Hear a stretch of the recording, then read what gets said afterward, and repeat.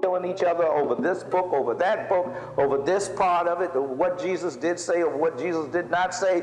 Jesus was God, Jesus was not God, he was born of a virgin, no, he wasn't. I mean, there was a lot of bloodlet over all of those questions. And so he said, if I'm going to uh, once they realized they couldn't wipe the Christians out, that they had to co-opt it and make it a national religion, an institution, and use it for the advancement of the empire, then Emperor Constantine said, in order to be able to do that, it's got to be organized. In order for it to be organized, you have to have an agreed upon system of beliefs. And that's when they called the Council of Nicaea with the 310 bishops to decide what they were going to believe and what they were not going to believe was also decided what was going to be in the New Testament and what was not going to be in the New Testament. And that's when, okay, let me just finish this point. There was a man who went in as a deacon to the Council of Nicaea. His name was Athanasius. He came out a bishop. Why? Because he was one of the few Europeans there who could read and write. The Africans who went there, and there were many Africans, the African church was the leading church. The Africans who went to that Council of Nicaea said, no, Jesus Christ was not one and the same with God. He was a son of God in the sense that he was a great prophet.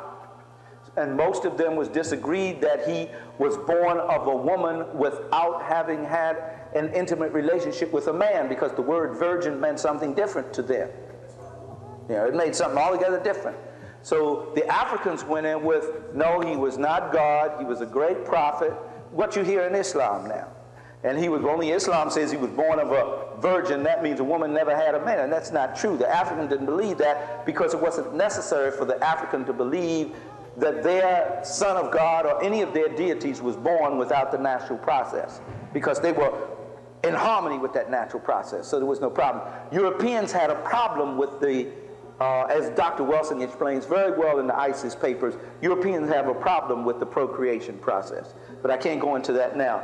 So they went in with that idea. The Europeans who dominated the council said this Jesus was born of a woman without the aid of a man. Um, they also said that uh, he is one and the same with God. Uh, and that's when they threw the Africans out who disagreed. Among them was Arius. They threw them out and hunted them down till they drove them up in the hills. And it was at that time they decided that they would use the four Gospels, Matthew, Mark, Luke, and John, because they could edit those and make them fit the ideas they wanted to project about the Christian belief at that time. The others, they could not do that too, because the others spoke about Jesus' wife, spoke about two of his wives that he had, the others spoke about his children. These other gospels. So they had to leave them out. They can only deal with the ones that, and still I can go in the Gospel of John and show you that Jesus was married, but that's another question we'll deal with there. Now, let me, let me finish this point. They then, Athanasius went back and came up with 27 books for the New Testament, 13 of the letters of the Apostle Paul, the four Gospels, and the others. And that's what that's when Constantine said, That's the New Testament? He said, Yes. He said, I have the sword to back it up. And that's how it got that way. Um. Um, what's the difference between, and what I want to know the real, uh, the real meaning of, like every time when I walk past the church and I look at the sign, I usually see the word either company or incorporated. And I noticed that that is a business. It's more, it's, to me, it's more of a, of a business than a religious institution. And I, I want to know the real meaning of why is that. Business throughout history. I, I Um. Ecclesia is the word church. All it meant was where a group of people gathered to discuss political issues. It was a political institution at first. Jesus did not found the new religion. He was not interested in founding a new religion any more than Buddha was interested in founding a new religion. He was interested, he was a Hebrew, he practiced the Hebrew religion and culture. He was an African who practiced the Hebrew religion and culture. And he said, I came not to destroy the law of the prophets, but to fulfill it in my life. He didn't come to give anything new. He didn't tell them anything new. Everything he said, you can find that they say he said in the New Testament, you can find in the Old Testament. So it was nothing new he said. He didn't found a new. It's the people who founded a religion after he died, as they always do when great people die. So, so, so when he said, I would build my church, let me make this clear. He had come up with a political organization that was called the Nazarene Party. Y'all got me way off the subject now. I got to get back on it, but hold on. I'm going to finish this one, though. The Nazarene Party. Read the book, The Jesus Party by Hugh J. Schonfield, And also The Incredible Christians by Hugh J. Schonfield, Dr. Schonfield, uh, uh, so-called Christian Jew. And also uh, the uh, Passover Plot. Those three books, and you'll get a lot of insight. I'm working on this book that I hope to be finished one day before I leave here. Lord, Lord, give me help. Black Historical Facts on the Life of Jesus. I've been working on it for years. Uh, uh, same one, Hugh J. Schonfield.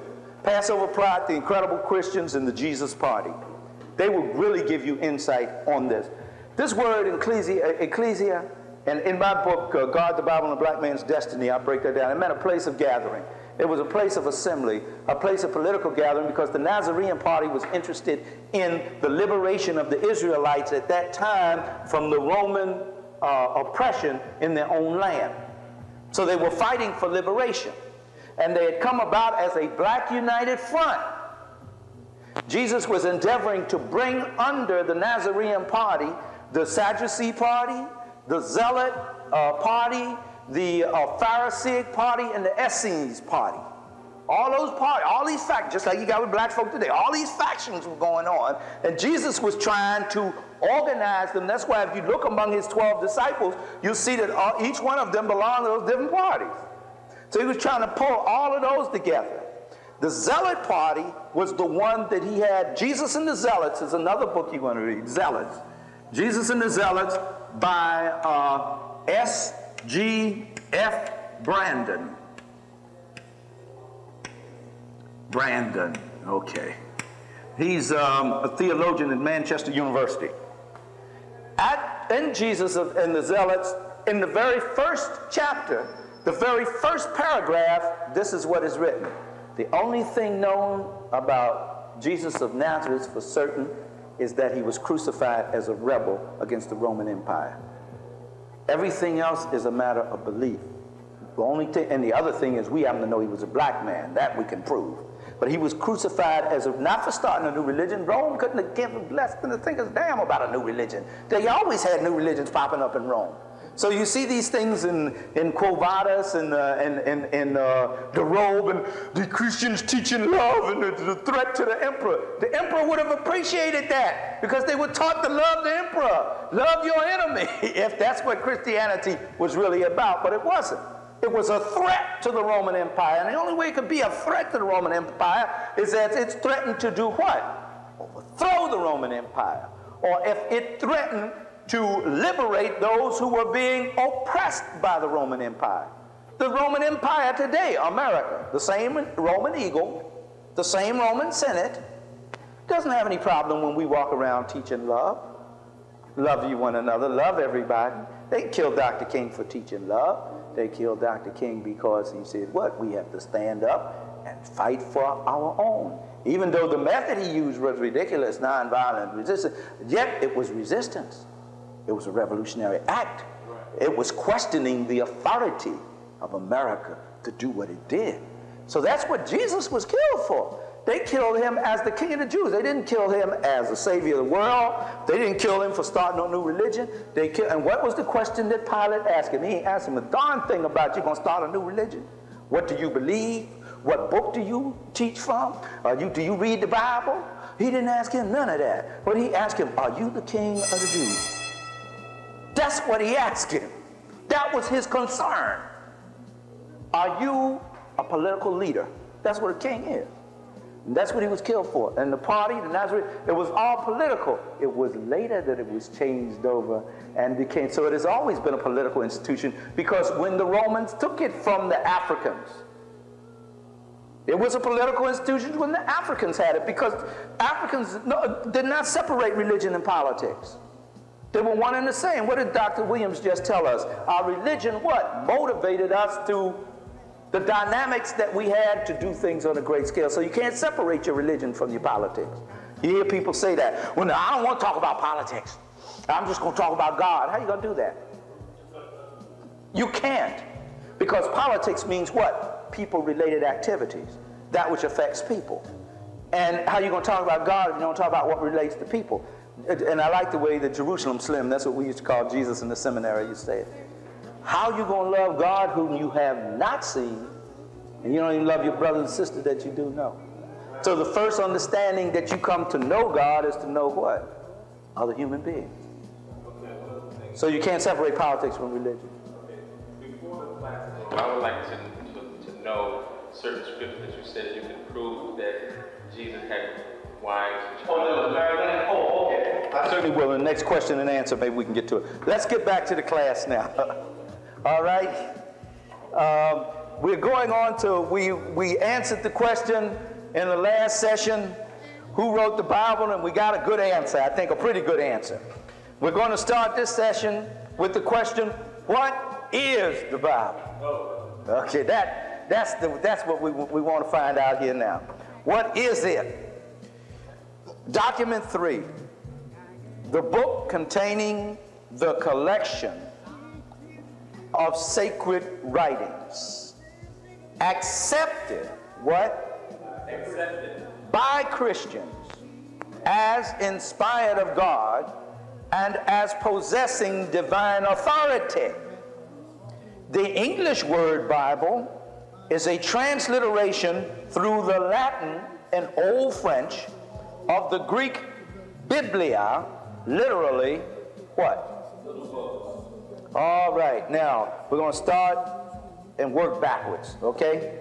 On that, we're on document three now. We're starting and we're going to work backwards. We'll start with this word, the Greek word biblia, from which is one of the words we get the to modern English Bible. Okay. Now, what does the word biblia mean? when you look at that document, from what we read in that document? What does it mean? Little books. So we're not talking about one book, we're talking about many books. All right, that's the, go ahead now, we're getting it. Along with the 70 other books. yeah, but in this particular thing, little books is what we're talking about. Not one, but little books. Little books. Okay, a collection of little books. It's a collection, it's a mini library, so to speak. Okay. The other thing is, we noticed in there, it said it was considered by Christian and Jews to be sacred. Not that it's necessarily sacred, but it's considered. Now, because it's accepted as being sacred by Christian and Jews, does not necessarily mean that it has to be what? sacred to anybody else. We're dealing with document three there, and we're dissecting it. Let me deal with this word sacred a minute, all right? The word sacred, sacre, from the Latin, meaning it's a Latin word. We're covering several different languages in here today, meaning to set aside. That's all it means. It doesn't mean that the sky is going to open, a light's going to come out, you're going to hear angels' voices. It means set aside, separated from everything else. It's considered better than everything or separated from everything. It has a special place. All right, it's sacred. Okay. The word holy, as used in the Bible, is another way in the English language, and it comes from the Old English halag, meaning whole. Yeah, halal, meaning whole. Meaning whole. Right. W-H-O. Yeah, W H O L. meaning whole. yeah, total, total or whole, right? Yeah, old English. Yeah, OE. I usually put OE for that. This is OE. This is Latin. All right. Now, let's deal with that for a minute. All peoples on earth that have a literature, and Africans had a literature, as we've just discussed, thousands upon thousands of years before anyone else had, have certain books, usually that contains their history, the founding of their nation, and the rituals by which they practice their religious expression of their spirituality.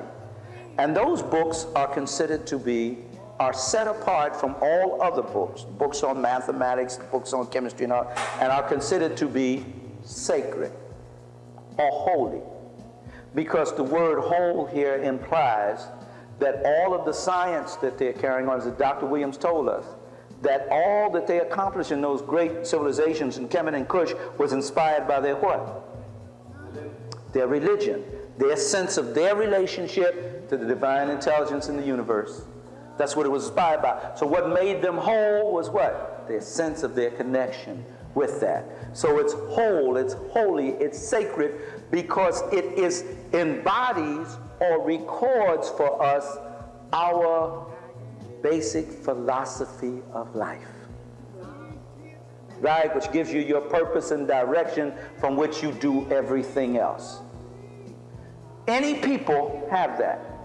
Even if they don't have a written tradition, they have a verbal tradition or they have a ritualistic tradition of some type which demonstrates what the sum total of their philosophy of life is, which is what everything else in their society is predicated upon, right? So wherever you go, whatever system of writings, usually it's connected with their history because history is very important to a people's sense of what their purpose, their basic philosophy of life is, the laws and the, the, the, the culture and so forth passed on from the elders through the society down through the ages, right? Everywhere you go, you will find people have a system of belief that is embodied in a book or in artwork, artifact, or something. So now, when I come to your land, I'm a stranger. I have with me something that embodies my system of belief, predicated on my world outlook and culture, that my purpose for being. I come to you, you have a different book predicated upon your worldview and outlook. Usually when we go into those books, we're going to find the same basic principles. However, they're going to be expressed what? Differently because of the uniqueness of our historical experience. Right. Now, who's right and who's wrong? Whoever is the spirit. Not necessarily. They're not right or they're wrong, they're just in control. But her point is, even though it's sarcastic, the way she presented it is a sarcastic is good because it illustrates what happened. It illustrates what happened. Whoever has the power to say who's right and who's wrong. Even though we know that's because you have the power, doesn't make it right or wrong. The basic principles of the universe, the basic principles of the universe remain the same no matter what people who are in power stay. So, and if they want to stay in power, they should get in harmony with those principles. If they don't, then their power will not serve humanity, but it will destroy humanity. And we've seen so many examples of that in history, especially the one who has demonstrated more than any other people. And I have to emphasize that here too, because I'm getting so sick and tired of these white folk telling me, look, you can't hold this against us. After all, you all killed each other. You all enslaved each other. Uh, humanity just mistreats humanity. I said, this is true. In our history, we have done this. All people have done this. However, you are the only people on earth that took a people's soul, took their total humanity, and took away from them their collective memory and have kept them away from that collective memory and will assault them violently every time they seek to reawaken that collective memory. No other people have ever done that. Africans have sold out, I got to admit that. They sold their war captives and all that. Nevertheless, I don't appreciate, I don't uh, condone slavery of any kind. It's completely opposed to the laws of the universe. And when Africans did that, that meant that African was not practicing his religion because his religion wouldn't have let him do that. He was practicing his greed, is what he was doing. He was practicing the lower elements of his human nature, not the higher elements which your religion brings out. Because those Africans that practiced their religion would not, did not commit those atrocities against other Africans. However, even in that, it was not the objective to take away the person's humanity, to strip them of their humanity. They became servants, they were lower on the, on the um, social ladder, but they were never dehumanized.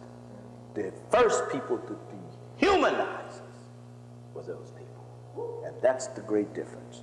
So all this thing about, and yes, uh, Native American tribes, they made war on each other, and some of them cut the hamstring of their slaves to keep them from running away. All those atrocities are awful. They're terrible. I deplore them from any time to anybody. However, they do not alleviate the guilt of the Caucasian who took this to the worst extreme that anyone has ever. So I don't want to hear that. Don't even talk to me about what I did to myself. It's a family matter. That's me to fight over with other Africans, and I do fight the issue. And it's me and other Native Americans. We do fight the issue. But when you and I are talking, you ain't got a damn thing to do with that. That's family. This between me and you, this is between enemies. Because when you did this, you declared yourself as an eternal enemy to the and the fact that you won't make amends for it properly without a past lip service shows that you're still an enemy. And every time I try to build up my own and get my own, you attack that. You got to be my enemy. Only an enemy acts like a friend doesn't act that way. A friend does not do that. To you, every time black people try to now whether you were in agreement with the Nation of Islam or not, let's let's not deal with that. When they built those farms up down there in the South, they weren't bothering white people. They didn't bother anybody. And to look at this, this was no threat to white people. The only reason why it was a threat to them is because in their mind, if black people can become self-sufficient, supply their own food, grow their own food, and, and their economy becomes their economy, we don't have any more black folks to exploit. So therefore it is a threat to us. So they attacked them and they poisoned the cattle. They did when the Republic of New Africa, the Provisional Government Republic of New Africa went down and said, we just want to separate from y'all. We don't want to march for freedom no more. We don't want none. We, we're tired. We're exhausted.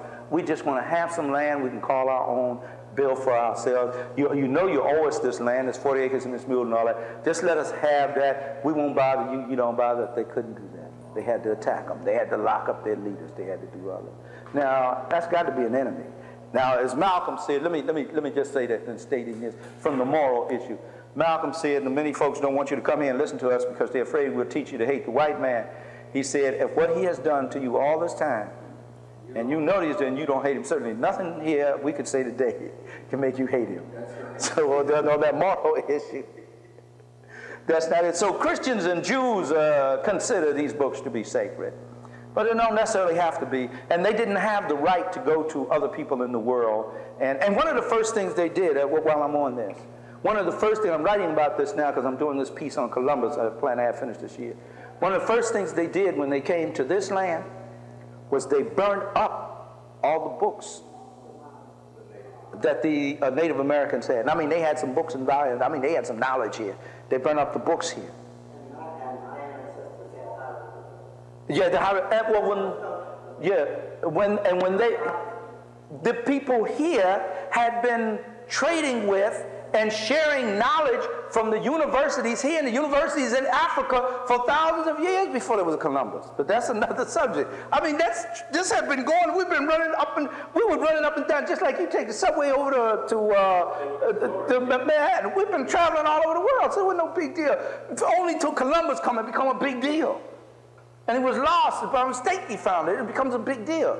But it wasn't, we've been running up and down, as Van Sertima and others pointed out, we've been running up and down on the Atlantic, the Ethiopian Ocean, as it was called then, for, for, for, for centuries. Now, I don't want to get off into that subject, so hold that, please. Let me get back, back to this. When they came here, they burned the books.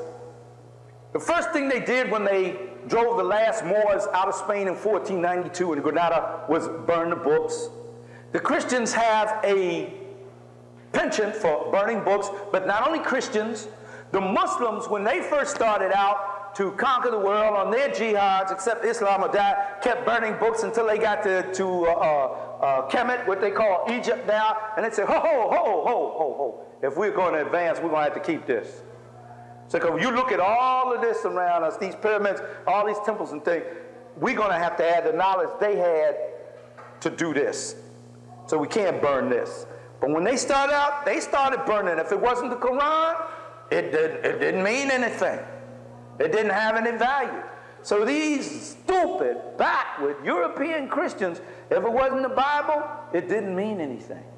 And by the way, by the way, for your information, at the time that they were doing this in 1492 and all those other periods, the common people could not read the Bible on pain of death. Only the aristocracy could read it. And of the aristocracy uh, at that time in Europe, hardly 10 kings could read or write. So it had to be read to them by the priests of the Catholic Church, and only few of them could read it. I doubt if five or five of them could read it all only parts. That's how the Catholic Church had such a firm hold in Europe at that time. I want you to get the picture there. So now, they considered it to be sacred, so when they got over here and they went to Africa and every place else, they burned up everybody else's sacred books. So that's why, out of all of the sacred books that were in existence, this is the one everybody knows about the most. Because they was busy burning up other people. We're just rediscovering the other material. So that's why this is only a gateway, and I, I can't overemphasize it. This is only a gateway to get back to that knowledge. This is not it. This is a way to get back to it. So this is a small, this is just a, just a drop in the bucket. The Europeans were the ones who made that book, but in actuality, according to history, there were lots of other books that was included into all of that, but they just chopped it down through Council of Nicaea and gave us that. Right, that's right. We, we created the book, the, the Bible, uh, yeah, the history and the Bible, all those stories and everything that was created, they out of African uh, history and culture. What they did was co-opted it, and I'm going to tell you the year they did that as we go on. It's the year 270, but we'll get to that as we go on. Uh, there, if I forget it, you bring it up in a question and answer. Please write that down because I want you to know when they first started to take the, the, the uh, this from the African languages and put it in European languages. And what they did is recast it in the image of white supremacy. What they couldn't understand, they cast aside. What they could reasonably comprehend, they included so that they could have a body of, uh, to uh, found their system of belief for a control mechanism. And now here's another thing I want to make clear to you. Um, the white man did not want the slave to read the Bible. So this statement you hear brothers and sisters say, we had the land, the white man had the Bible, now uh, he has the land and we have the Bible. That may be true, and it is true because it did switch around. He did take the land, however, he didn't come in with the intent of you reading the Bible. He read it to you and interpreted it for you. Because when a slave was caught reading the Bible, a slave was killed in those days. Because they didn't want, and especially after Nat Turner and Gabriel Prosser Denmark Vesey and all those folk who had read the Bible and, and read about the Battle of Jericho and all that kind of stuff, and that they, they fought for their freedom and liberation, uh, they led slave revolts. So they did not want you to read or have it. So, uh, because whenever you read it from the context of the, as uh, Reverend Jaramogi says, from the context of the black experience, you're going to come out with something altogether different. Even in black churches today, in their, in their Negro to state, they still have a different system of worship in many ways, and their ideas are vastly different. As Brother Malcolm pointed out so well, he said, Here, you're being lynched. The man who's lynching you is calling on Jesus. You're being lynched, you're calling on Jesus. Now, which one of y'all have connection with Jesus? You know, who's really getting through? at the time. That's the question. And even during the civil rights movement, these were Christian white folks out here who are opposing Christian black folks from having their rights and the right to vote and everything. So we have a different world view, and that is applied to, to, uh, to those religions. So Christians and Jews consider, we're on document three there in the, uh, uh, as we answer the question, we've already answered the question who wrote the Bible, as we answer the question, what is the Bible? Okay, now, I've dealt, dealt with the definition of the word sacred, and also I want to point, and I point out that uh, I want to give you some examples of other sacred writings.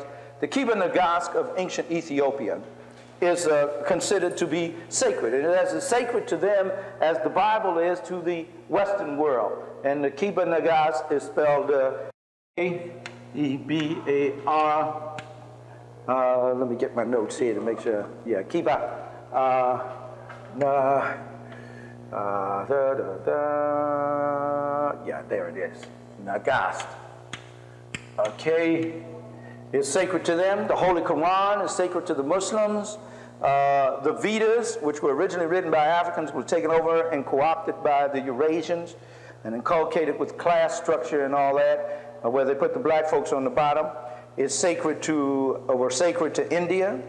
Uh, the Kibbutz is sacred to the Ethiopian Coptic Church. Everybody has a body of sacred works that is holy to them. Therefore, this book is no more holy than anybody else's. Books are holy to them. And it is only through arrogance, it is only through the will of controlling other people's minds and controlling other people's bodies and other people's lands and money that uh, and resources that one person will say their book is better than the other. And in order for you to be a human being and to be somebody that is going to be accepted as a human being you have to accept my book. Okay now we must learn how to glean the best from them all. All right we've covered that uh, document. Let's read it one more time. The book containing the collection of sacred uh, collection was a key word there for us right? Writings accepted by Christians as inspired of God, as possessing divine authority. The English word Bible is a transliteration through the Latin and Old French of the Greek Biblia, literally little books. Document three. All right. We're still answering the question what is the Bible? Document four.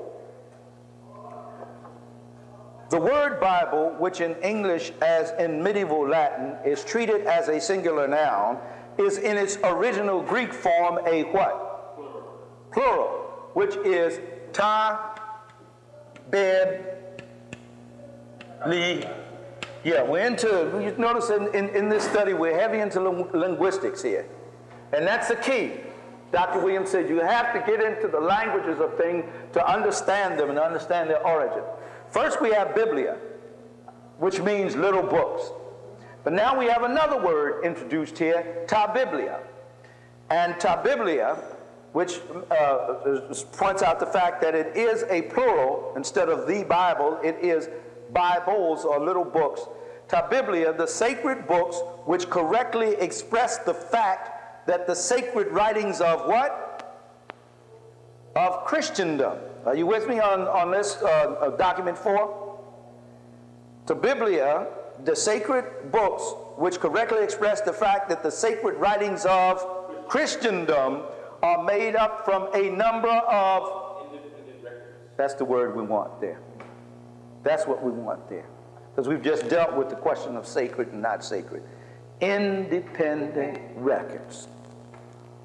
Why is that important to focus on? We are used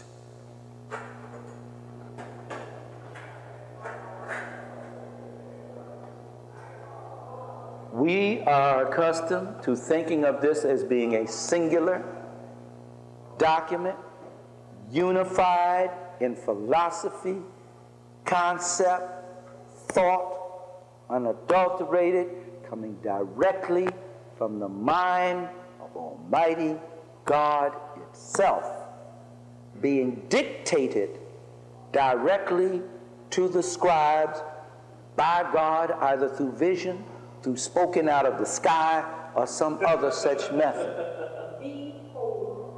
Right. However, when you get into a translation, we're not attacking belief now, we're studying the language and the history and the science. Now, I want you to understand that. I'm not attacking Christianity or anybody else's belief, I'm just dealing with this historically. the word biblia, little books, but when you get to the other form, the, the Old English, another Old English and French word, ta biblia, it means independent records. Not just little books now. First we find out it's not one book, but many. But it's not just many, they're independent. Not only that, not just cut you off, but the gospel according to Luke also indicates in the written Bible that he got his information on traced records. On existing records. Yes, indeed. All right, so we, we have established that, right? That there are a number of independent records. Okay, let's go to document five. We made it through that one fast, didn't we?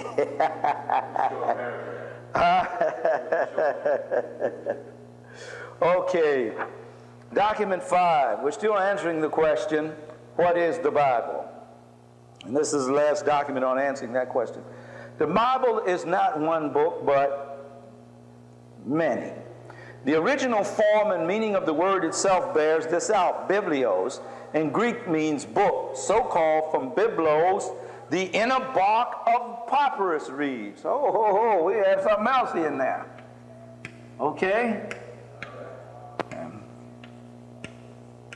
Is that what? It's the last sentence that you just said. Okay. last sentence. Uh, the Bible is not one book? The last. In a bark. Oh, inner bark Inner of the papyrus reeds on which early writings were inscribed. The Greek name for papyrus was biblos, later Bibles, later given also to manufactured writing materials, and finally to a papyrus scroll of books. All right, we go back now through this English and Old French and Old English. Biblia, little books, a collection of independent records, to the Greek biblos, books, but we have to take it now to the Latin papyrus, but you don't stop at the Latin because it is talking about something that was grown, a plant that was grown on the banks of the Nile River, the Hapi River, which is in uh, uh, Akebu land in Kemet, that's right. Therefore, they must have had their word for it, which was Q A M A, Quama.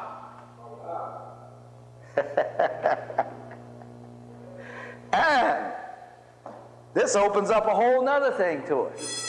This the Latin. Yeah, now this goes from Old English, uh, uh, Old English and Old French, another form of the English, more modern English, to the Greek, to the Latin is papyrus, to the Kemeton, Kwama, the African Kemeton. But now, here we go. White people couldn't have been the first to write the Bible because they weren't the first to have paper. Right. They were not the first to have, because they say the word papyrus also relates to other what? Writing materials and scrolls. Came to be applied to writing material. Anything dealt with writing. The word biblos even was connected with that. They therefore weren't the first to create this. How do I know this? Because the first people to develop paper, which was first developed, the word paper comes from the Latin papyrus, which was a word to describe quam, the plant which grew on the Nile River, the Hapi River. The paper that we know in the world was first created in Africa. We don't know how long ago, at least four or five thousand years ago in Africa, it was created. So you could say that Kwama was a plant that was on the Nile River. It, that's exactly right. And they used, that's what they made paper out of and still make it out of there today. Still today, it is made from that, there, in that land. And that is what the first scrolls were written on because in those days, books were written in scroll fashion and they were rolled up and they were stored in the libraries like that and they pulled out these big scrolls. So they wrote not only the hieroglyphic, the sacred writing, but the uh, Demotic type writing, as they call the script type writing, they had that as well. They had about four different scripts in ancient Kemet. Not that you keep hearing about the hieroglyphics, but they had all different types of writing there, which they got from Cush, because the Cushites were writing before anybody else. And everybody in Cush could read and write. When it got to Kemet, after a while, it was just the priest who could do it. But all of the common people could. But we'll deal with that when we get to the study on Cush uh, later on. Now, here's the kicker. For at least over 3,000 years, Africans dominated the paper industry because nobody else was making paper. Africans dominated the pen and ink industry because nobody else was making pens and ink. In Mesopotamia, they were doing writing, which was called cuneiform writing, but it was etched into a clay tablet, and that clay tablet was baked and was very difficult. Once you came to paper, you could do like you're doing now. You know what? I always think, whenever I see a white man pick up a piece of paper, because this whole country is operated off paper, the whole business could not exist without what? Paper. Even in the modern electronic technology with the computers and the faxes, you still got to have you some paper. The stuff they walk around and say that's so precious is printed on paper with ink. And whenever a white man holds up a piece of paper, I'm always tempted to say to him, Did you say all praises due Amon Ra? Amen. All praises due the black man and the black woman, because were it not for the black man, the black woman, you couldn't do business today. You certainly couldn't have a banking industry, you wouldn't have any currency. If it wasn't for black folks, because they were the ones who created Kwama, whom the Latins call papyrus, which is paper upon which all your business is done today, even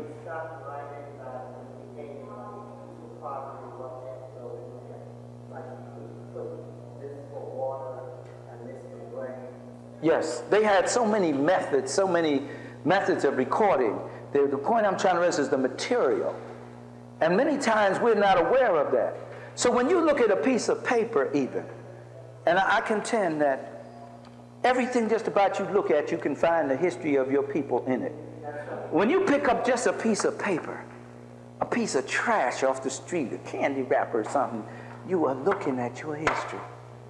That's something to think about, isn't it? Because it would not exist if it were not for you. Even the trash in the community can tell you something about your history. Now that's something to pass on to our children, isn't it? Pass their history every day. Every time you pass the newsstand, every time you read a comic book, every time you unwrap something. Every time you pick up a pencil, when they go with their notebooks to school, when they go back to school, you know you like that back to school thing, you get all your, your new blue leaf books, your new paper, your new pencils, different color thing. None of this would exist if your ancestors had not on the Hapi River in the Nile Valley years ago created it. There would be no Bible. There wouldn't have been nothing to what? Write it on. There wouldn't be anything. So we dominated that industry for over 3,000 years, the only people selling paper. Or they had to buy it from us now. The Phoenicians were trading it around the world, but to be able to trade, they were the middleman. In order, we were the manufacturers. I like that word. We were the manufacturers of paper. So the only way you could get it was from us. If you were going to sell it anywhere else in the world, you had to come to the African to buy it. No, it was there first. There. Then the art was taken to China and to India. The Chinese will tell you that. The Shang dynasty was largely responsible for the development of the writing system then. The Shang dynasty has been pointed out by Runoko uh, Rashidi and several others was a black dynasty. And if you don't want to believe what's said, you can just look at their imagery from that dynasty in China. All right. Yeah, early uh, African presence in early um, Asia. Th those those journal of black civilizations are just fantastic. They, they're precious. You got to get them all. On the Journal of Black Civilization, whichever ones it is, all of them, get them. Uh, edited by Ivan Van Sertima. But I always like to put the emphasis on that. That this is something we gave to the world and so often used against us, what we gave, as most things we gave to the world. And there would not have been a Bible in existence to others. And it was transplanted to other nations, like you asked about China and India. In India, they'll tell you that their civilization was founded there by the Kushites. And that has been, uh, Drusilla Houston deals with that and the wonderful Ethiopians of the ancient Kushite Empire and also um, uh, African presence in early Asia, uh, edited by Ivan van Sertima. Now, let me make sure I didn't leave out nothing here. I got so caught up uh, in paper. The, um, huh? Oh, yes, of course. We're going to get to that.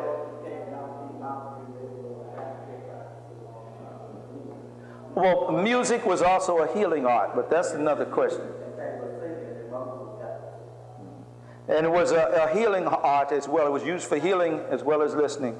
Now, the probably one of the uh, uh, things that many scholars say is probably the most, among the many aspects of civilization, the most singular, that was the greatest factor in contributing to developing a body of knowledge and keeping that body of knowledge from generation to generation was the science and art of writing, which came first out of Africa. Don't ever forget that. They took all our writings, they took all our stuff from us, and then looked at us and said, What did you ever create? We had scripts all over Africa when they couldn't write anything in Europe, nor did they have anything to write on, had any idea that you could write anything. They didn't know what writing meant in the first place. The Greeks or nobody else. It wasn't until Africans transplanted this to the rest of the world. Now, in saying that, I'm not putting everybody else down and saying nobody ever did anything. However, it was only natural that the first people on earth would be the first people to create civilization. They didn't just sit here waiting for other people to come before doing it. Uh, the thing that necessitated, uh, uh, or we should say that civilization was born out of what? Necessity. That's what civilization is predicated upon. So you naturally learn because you continue to what? Question. And you continue to question because you need to know in order to survive. So that's what science and knowledge comes out of. We were naturally the first people to do it. So when white folks say, now y'all doing like we used to do. Y'all doing, y'all took now and say ain't nobody ever done nothing but y'all. No, we didn't say that. Said we did it first. That's all. I mean, the, history just says that. Your, your uh, uh, historians said that. The, the early ones, anyway, say that before you all decided to reframe the world in the image of white supremacy. Okay, we've dealt with that now that there are a number of independent records. They're a collection of little books, and they were first written on Kwama, which they call papyrus or paper created in Africa. So not only we read the first document, when we read document one, said that the Bible did what? Originated in Africa, right, which is the proper name is Akebu land, as, as Dr. Ben tells us. But that's where it began. It started there because that was the only place that it could have started because it was the only place in the world at the time that what? Writing was going on. Why? Because the material you used for writing, what? Grew there. Very logical, deductible reasoning, isn't it? Very simple, very basic, yet all important. Something as simple as that has been hidden from us for so many years.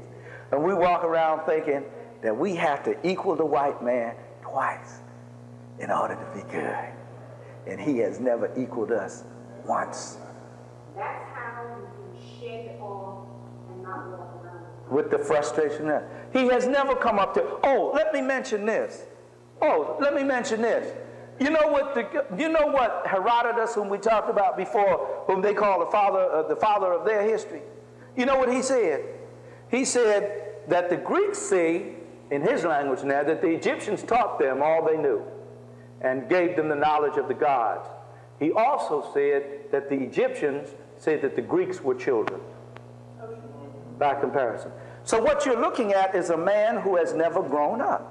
Let, let, me, let me just, for just a minute, I'm going to come back to the document, but I want to deal with this. Any, in ancient African societies, and in many today, you don't just automatically become a man or a woman because you reach certain chronological years. You have to go through the process that is called what? Initiation and rites of passage. So you have to be prepared for adulthood so you know what the responsibility is, how to respond to those responsibilities, right? That's rites of passage. Now, when they took you off for the secret society training and rites of passage, they took the young men over here, the uh, elder men worked with them, they took the young ladies over here. Not that one was superior to the other, they had different basic functions in the society. And they had to know, know how to do that. Only a woman can teach a girl how to be a woman, only a man can teach a boy how to be a man. Then they bring them back together and they intermingle those and that they relate to each other. That's why we don't relate to each other. We don't know nothing about being men and women. We, we think when our sexual genitals get stimulated, we're men and women. That's not true. We haven't been prepared for adulthood at all. It's thrust upon us, the whole responsibility of it. And that's why most of us crumble under the weight of it. In a, in a proper African society, a man would never run off and leave his family because he was taught from the beginning to take care of his family. But even if he left, the family wouldn't fall apart because the women were self-sufficient because they control the economy in the society. In all African societies before Islam and everything else came, women control the society. Now, one of the aspects of being able to prove to the elders to pass the test, because if you never passed the test, you were never accepted as an adult. You could be 50 years old, but if you never followed the values that an adult and the way an adult's supposed to act, you were still considered a child in that village. You didn't become an elder simply because you grew some gray hair. You, had, you became an elder because you followed through a certain cycle and certain procedure of life and process of life. One of the main determining factors to let you know that you had now crossed over from childhood to adulthood was your ability to interact and share with others. That was so important. Why? Because when a child is born, what does a child think about? What does a child cry for? In the early years of a child's life, at the breast of its mama, all it knows is me. And then the whole world is there for that child. The mama's breast, I mean, the mama's whole body was there for it. The mama's breast is there for it. The father goes out to hunt to make sure that it's fed. The elders in the community do this. The society is protected by the army. Everyone does all this for what? To make sure that that child grows up. So everything is done for the child by somebody else.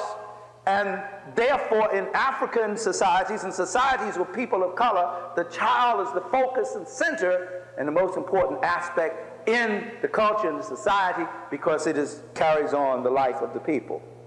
Now, how do you bridge this gap now when everybody has been lavishing affection on you? Everybody has been taking care of you. Everybody has been feeding you. How do you become self sufficient to take care of yourself? You have to be taught how to do that. And one of the first things to do that is you have to stop saying me, my, and say us, we. Uh, our, us, and we. Our, us, and we. White people have never learned how to do that. And when you say our, us, and e, you're not in an individualistic society, you're in a what? Collective society because the only thing that will ensure your individual survival and development is the collective, survival of the collective. White people live in a rugged, all they talking about, they praise the rugged individual. An individualistic society because they came up primarily with each man behind his cave, with his dog guarding his cave. In their early stages of Cro-Magnon, each man had a dog in his cave to keep anybody else from coming to his cave and stealing his food. So now when you start out with that as a premise, as Diop says, it's indelible. So it's in his nature. So he has never grown up because he's still in the me, I. And when you don't do what he wants you to do, he does what a child does when it doesn't get his way. What does a child do? Throw tantrum. Destroy anything. Destroy it. You're not my friend anymore. I hate you. And he goes, did he want to beat you up? Want to fight you. Then we all go through that as children. Yeah, I, I, we went through it to a degree. I know our parents didn't allow us to do all that. But I'm talking about when dealing with other children out in the street. Stuff didn't go your way, you want to fight. That's why you got gang wars, because you couldn't have his way with that. You could have, you fight. That means they have not developed into adulthood. Therefore, when you look at the history of white people and the way they react to other people, if that person doesn't dress the way they want them to dress, if that person doesn't think the way they want them to think, doesn't believe the way they want them to believe, what will they do? Make war on them. A child would do that. So you, when you look at him, you are looking at an unruly child, the bad seed. You saw that movie, The Bad Seed, and that child didn't get something she wanted, she killed people. Does he do that or not? Or am I being hateful? Because we've taken on his nature.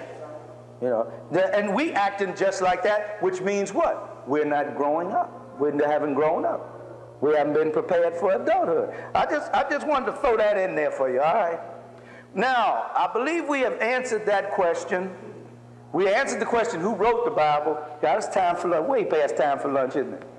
Uh, okay. Uh, can we hit two more documents for lunch? Okay. Uh, we just answered the question, what is the Bible, right? What is it? Okay. Oh, okay. Okay, well, after we finish summing this up a minute, then we'll do some questions and we'll do, all right. All right, uh, but I wanted to make sure we got clear on this. Since we did, we found out who wrote it. What is it? There are a number of independent records, not one but the many. And then we went into where it comes from, the word of Biblia came from Greek. Um, Tarbilia. What is Tarbilia? That's old English, uh, modern, closer to modern English, it's in between old English and Modern modern. English, and then from there, we went to, um, Bibles, More recent English, there which we is a go. Greek thing, and then from there to the papyrus, and from the papyrus, we came down. What is papyrus? Uh, that's the, um, What language? fires. No, Oh, that's Latin. uh, Latin. Latin, okay. And from the Latin it came down to one. That's where it originated. Is it, is it correct that he said uh, papyrus or papyrus? Papyrus, they say it's correct. We say, we, we speak Negrito. So, which is our, papyrus is correct, but we say papyrus. Okay, so, But, uh, I like the way papyrus sounds. yeah. Yeah, and I like papyrus too. Dr. Best say papyrus, but either way you up and down, it, it comes out the same. All right, so we know that it, first of all, it isn't one book, it's a number of independent records. It isn't holy or more sacred than any other because the word sacred and holy meant what? Simply to set apart, then to make whole, and that all peoples on the world have their sacred records. So one sacred set of sacred records is no more valuable than another people's sacred set of records. And therefore, I think we deducted from that, and I believe we have a general consensus that no one has the right to impose their sacred record on another people or to defame the, another people's sacred record as being of no value or that they have to accept your particular record. And as this lady brought out, the only reason, the only thing that made it right or wrong for Europeans to take their idea of a sacred record and say that it was superior to everybody else's and impose it on them is what? By power, force of power, by warfare. Not by calling on Jesus, not by praying, not by the Holy Ghost, but by the sword. That's how it did it. Okay, ma- um, m- m- m- you wanted to question. I my the, the, uh, question about the order of the books in the Bible, the order of the books in the Bible, I have read, uh, arrived because the Levite of the twelve Hebrew tribes, the Levite tribe, became the dominant tribe. So the first five books uh, Moses, the Pentateuch, uh, from the Levite. And if your name is Lebanon or the Levi or any of that in the uh, synagogue, you get the synagogue. No, Yes, not necessarily. European synagogue. Oh, European. Excuse me. Europe, no, no, no, I didn't say Israelite. I'm talking about the European synagogue down the Talking about Jews. Because uh,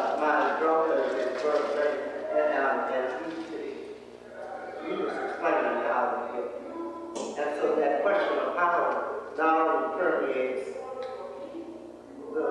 indoctrination of us using the Bible, but even the use within.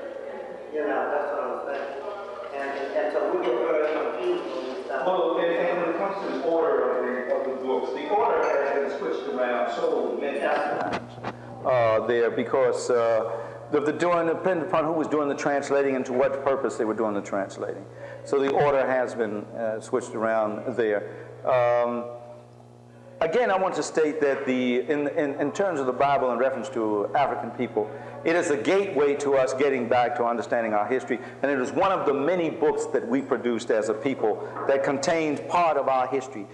Israelite nation, which was an African nation. But that was only one of the many African nations which existed. Uh, the whole world was not focusing on that. They were focusing on it because it was their history. And it happened to survive many other books because one thing about the Israelites, as they would burn up the books in, in Kemet and they would burn up the books in India and at Karthadas and other places, the Israelites would take theirs and bury them off in the desert somewhere. That's why you keep finding these Dead Sea Scrolls and stuff. So that's how theirs was able to survive. Plus, it was the one that the European chose to co-opt because it was the one closest to what he thought he could understand at the time. And that, that's the reason why. But it is not better than the rest any more than the Quran is better than the rest. They all have value. They're all sacred to us and can give us not only our history, but also spiritual and moral values that we can draw upon. So it's Yes. basically hypocritical for the Muslims to, to, uh, like we have pointed out in the class, that, uh, the, the Quran was a compilation of certain books in the Old and in the New Testament. It's therefore hypocritical for the Muslims to now say the Quran is the only book we should read from, when the Quran got their, their idea of God from the Bible. The same way with the Bible itself. When he got it from the book of coming forth by day by night. Yeah, oh, actually, it shows uh, insecurity on the part of human beings to feel the need to say that that which they have developed and created is the only and the best thing that has ever been done. I mean, you discount all of the ages of people who preceded you when you do that, and all the ages of people who are to come. And then you also lock the minds of people in a ceiling that it cannot rise beyond a certain level because if your book or what you believe is the total knowledge, then why should I seek to go beyond that? So that means the, the history and the study in Islam that uh, Prophet Muhammad received this revelation by God himself as a, as a fabrication. Uh, Let me say this. Every sacred book on earth, if you go down in Yucatan, there, and they used to have sacred books down there, the Incas, the Mayas, and all that, Aztec, every one of them will say that they got heard a voice from God and they got an inspiration to write them books. Now, whether it happened, I don't know. I'm just saying, if, if, you, if the Prophet Muhammad ibn Abdullah, peace be upon him, a black man from the Quraysh tribe in Mecca, if he got the inspiration to do the Quran, that's fine. It does not make the Quran better than what my ancestors had an inspiration to write in the Western Sudan and what others had an inspiration to write over here in the Western Hemisphere or in India or in anywhere else. And for him or for his followers or anybody to say that his revelation or anybody's revelation is better than the next person's revelation is not serving God nor man. It's only serving somebody's individual or collective ego. That's what it does. But you brought. Excuse me, let me get his point. Yes. Uh, psychologically speaking, all people do that to bind themselves together for their common cause. They exclude everyone else because that is the cohesiveness of a group, whether they be Chinese, African, Caucasian, or anything else. They can't bring into question, or what you might say, the fallibility of another person's attitudes. They exclude that. Binding themselves together this way, they will function. But Anything it else also, becomes divisive. but they can only function beyond a certain point, and it's Only great rulers who created great empires in Africa and other places had to transcend yeah, those, those individual uh, limitations and bring, and, and the best rulers would always go like Sunni Ali of, of, of the Songhai Empire, founder of Songhai Empire, took the best out of each tribe, tribe's tradition and each nation's tradition and incorporated it into the nas- national culture. A wise leader will do that. Now, and now, and it is not so bad for human beings to feel that special, unique connection with the creator of the cosmos. Here's when it really becomes evil when you seek to proselytize other people to that way of thinking. They convert them to your way of thinking or to destroy them or to discount their right to exist or even question their humanity on the basis that their system of belief or philosophy of life is not in same accordance with the language of yours. Now, note I use the term language because at the basis of all religions are certain principles. And it is only when people get away from those basic principles and get complex in their religions that the religions tend to become corrupt. Because they've gotten away from the principle now, and the religion no longer serves the people, but the people serve the religion. That's when it becomes oppressive. That's it. We just, yeah, we were talking about that in the first session here. That religion to African people was a way of life. That's the point. When it's no longer a way of life and it becomes a religious practice, it's a whole together. Yeah, when it's devoid of spirituality, because spirituality and religion are not one and the same. Religion is an expression of one's spirituality. And one can be spiritual and not have any kind of religion whatsoever. Because spirituality is one's conscious awareness of their connection with the cosmos and the universe around them. Call it God, call it whatever you will. Man, the African understood that so well. That's why the ancient Egyptians, as Dr. Bennett said, had no apostolized religion. Right. They developed spirituality, in the individual was brought forth spirituality in those who were students from the priesthood down. Organized religion has always been an offshoot of spirituality, which was dying. So they tried to bring it back through religion, through apostolified forms. To discipline man back on the proper path. Yeah, whenever you'd have these rise of these prophets, whether it was Jesus, well, whoever the prophet Muhammad was, it was an object. It was in this particular geographical location. What had happened to the people is they had begun to degenerate and separate from spiritual principles. So a prophet would rise up to try to bring them back in harmony with those that particular people. His message was not necessarily for the whole world. Just like Jesus' message was not for the whole world. He said, I come but unto the lost sheep of the house of Israel. He made it very plain. He didn't say nothing about carry this to everybody in the world. He said, carry it to every city in Israel. Carry it all over Israel. He said that very clearly. He said, then will the end come. You go back and read it. That's what they, oh, oh, the way, the way of life. Yeah, as you see me, then you, you, you follow in that. But you see what the you see what the European Christians did with that though. Instead of taking the way as a way of life, they say the way as the only way you can go is to accept Jesus. They took the language and put it in their own interpretation. You see what has happened there, and it's very So simple. we not only live by the, we don't live by the crucifixion per se of Jesus, but through Jesus' teaching. Yeah, who was, was the teaching of, of Asa and all the other prophets who preceded him, because just like every other great teacher that day, he studied in Africa. But that's another topic. I'm supposed to get to that later on. Yeah, he, This way, again, is a way of life, and it's just like Yeah. you're saying, it has to do with following his example for living, not anything to do with crucifixion. his assassination. Yeah, the only thing that his assassination demonstrates, since you brought up the crucifixion, what his assassination demonstrates, his assassination was no greater, and I know y'all not gonna like to hear me say this, and as I say, I'm not attacking system of belief, but I got to go with what's real. It was no greater than the assassination of King, Malcolm, or anybody else. He paid the price for his liberation struggle. And uh, we talked about that before. What did they put him on the cross for? For starting a new religion? For the Savior of the world? Not the Romans. The Romans put in their records, we crucified him because he was a rebel.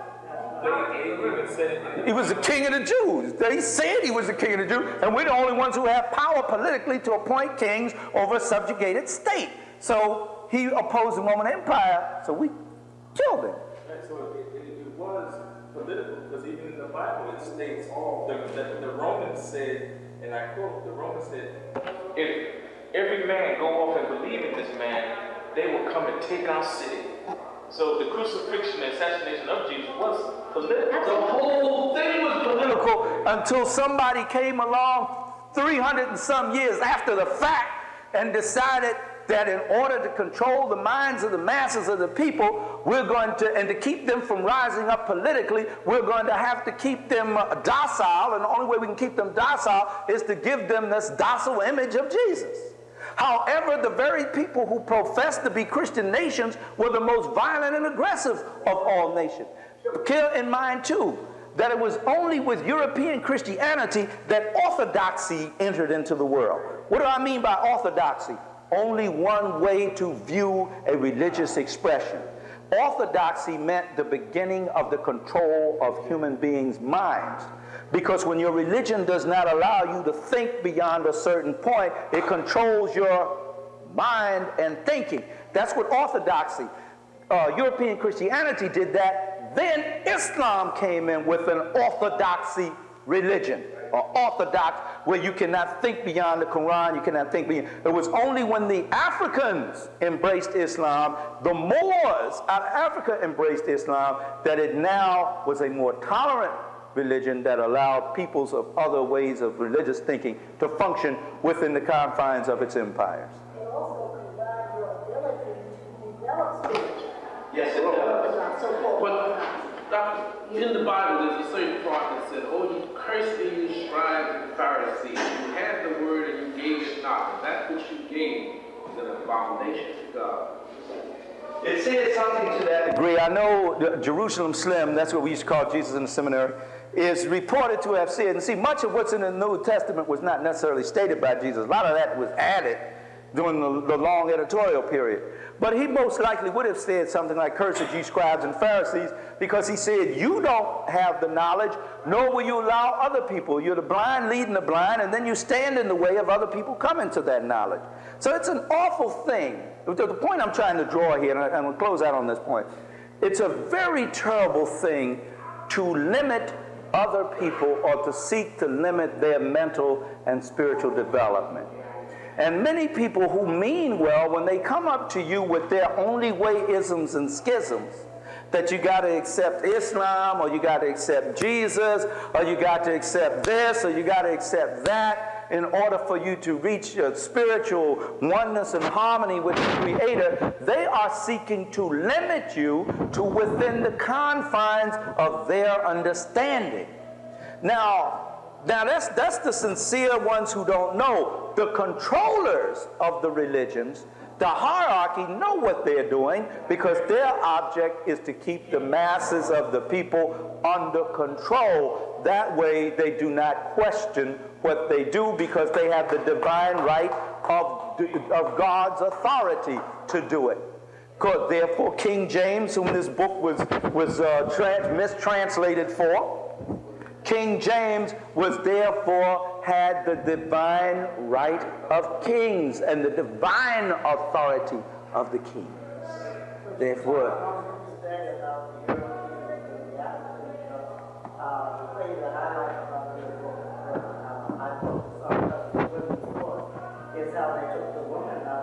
Which book are you talking about? Angel, African woman? Oh, okay. Oh, yeah. You know, and so that, that's such a profound uh, thing that many of the brothers that I find useful, I'm not trying to trade I, I spend my money. I have 50 people in this class, and I have about 16 brothers we surround.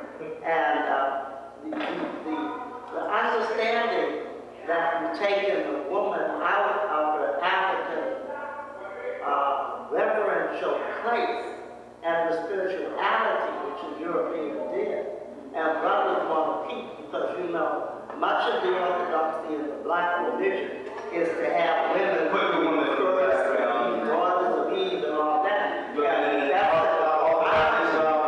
pray over their. The men have to pray over the women have to pray in back of the men. Well, let me speak to that before, and then we'll close this session and we'll go to lunch.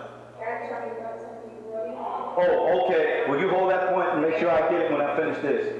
First of all, as Hakim al says so well, only fools limit their women. First of all, only a fool will do that. Right. When you limit your woman, you limit, you, you limit your power source. Therefore, you can't be all the man you're supposed to be because you don't have power source. That's stupid.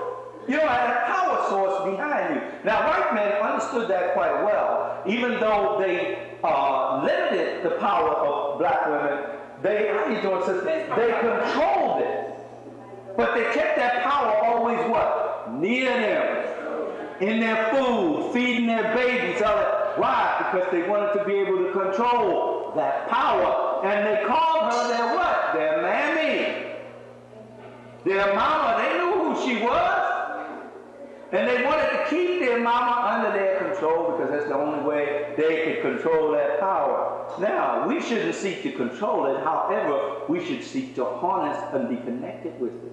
And for any, first of all, whenever there's a religion or a culture, a philosophy of life that separates the female from the male and puts her on a lower level or in the back, you will note there's a lot of insecurity within the male structure there itself.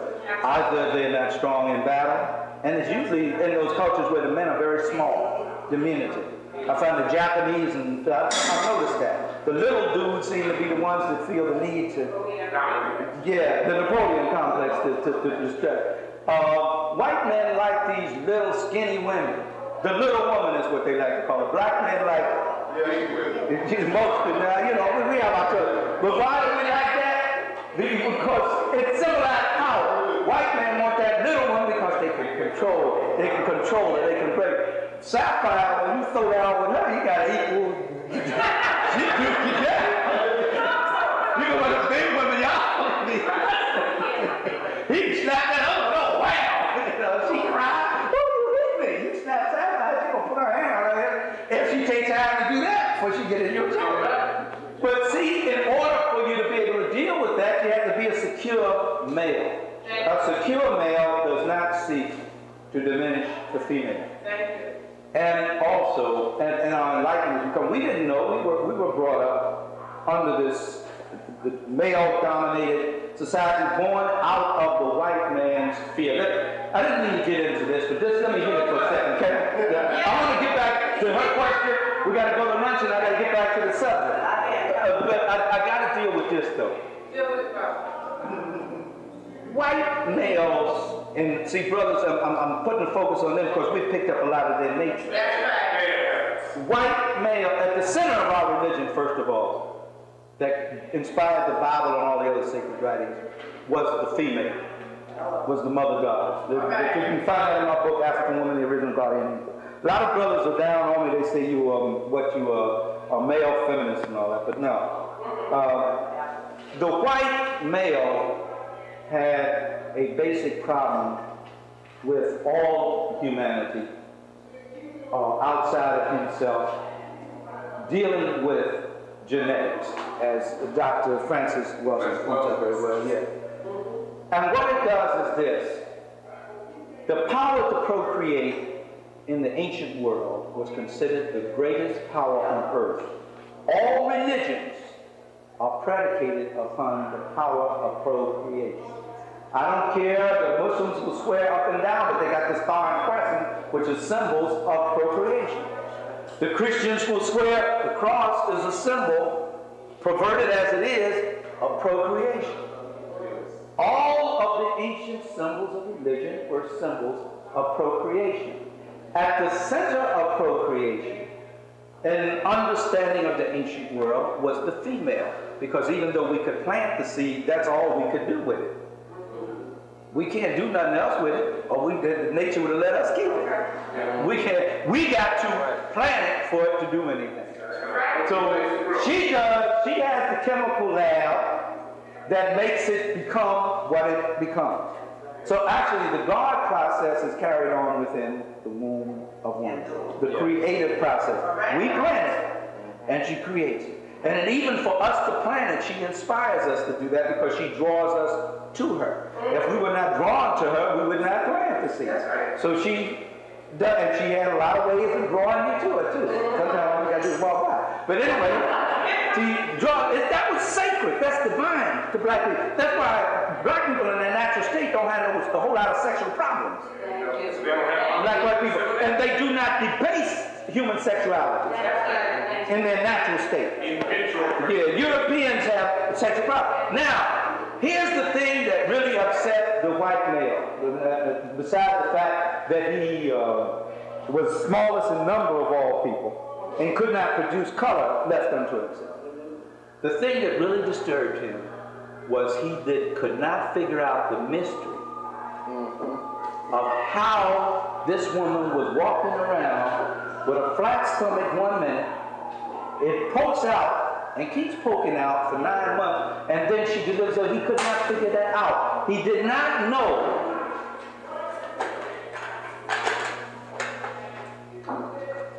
Are you taking over that one or is that? Man. I'm, thank you. Get home a point for me, please.